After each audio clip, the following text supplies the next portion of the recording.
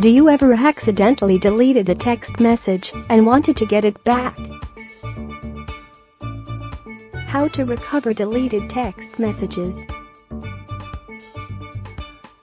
Features about FoneLab iPhone Data Recovery Download Aiseesoft iPhone Data Recovery from aiseesoft.com.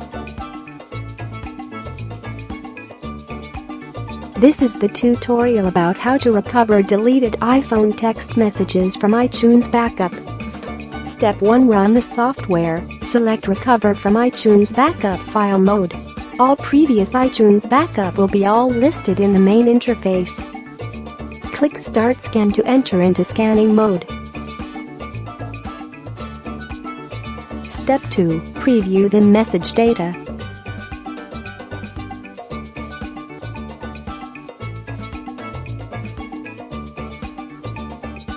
Step 3. Click Recover button to get back your texts to PC.